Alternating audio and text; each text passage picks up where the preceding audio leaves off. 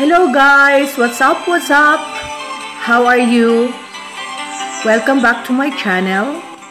In this video, I'm going to show you how I collect grasses, foliage, flowers in the wilds, everywhere to use them as ornaments or just to create something to display their beauty. So whenever I'm walking, I always make sure that I would find something everywhere, something that I can show off their beauty in my creation. So this is how I collect my grasses. To take them home and dry them. So this was the Phalaris uh, minor. That's why I think it's called Phalaris minor because it's short and it's small. And these are the ones that are the Phalaris. I don't know, but it's also Phalaris. And look what I found. I wish I found more, but there were only two of them. This is the one I've, been, I've been looking for.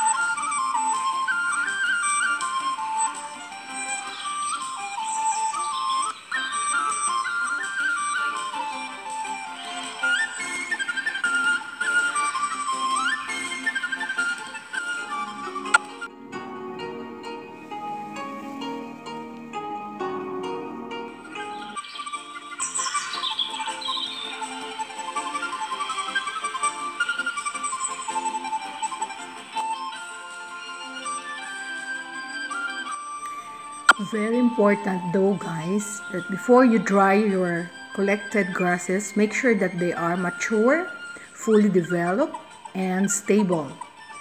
One of the simplest and oldest methods of drying grasses is you know to hang them upside down. Um, first, we have to tie them in small bunches like this then we hang them upside down. This method can be used for most species of non-woody grasses so that they will remain upright after drying.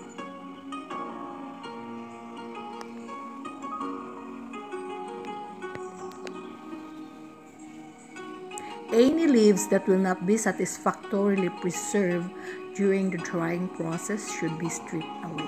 You should remove it. And it should be a well ventilated uh, place.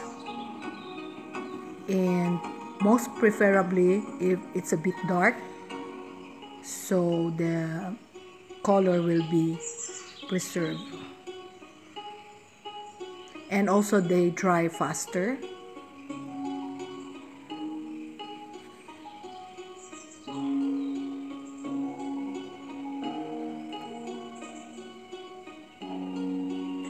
On my next video guys please don't miss to watch it because I am going to show you some of my uh, moments of coloring them to prepare them so I can make a bouquet for the spring season.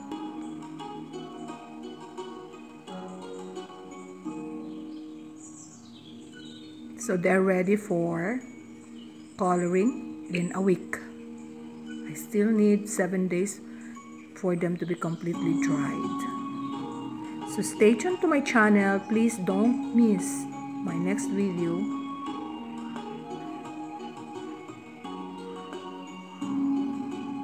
Yes, the dryness and spacing prevents mild and mildew formation. That's very important. So I have those eucalyptus leaves and leaves too can create a very attractive arrangement. You will see on my next video when I color them. It's so beautiful. They would really look different.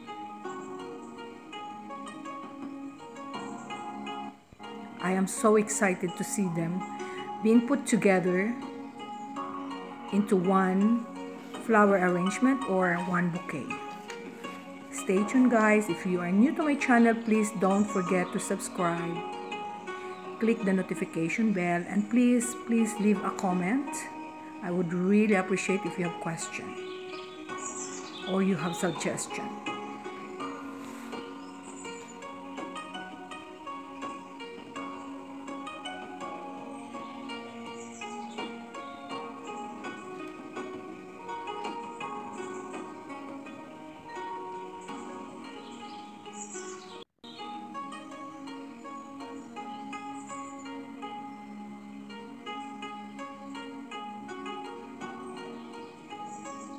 Thank you so much for watching. Have a very nice day. Please watch my next video on how I added colors to my dried grasses, flowers, and foliage.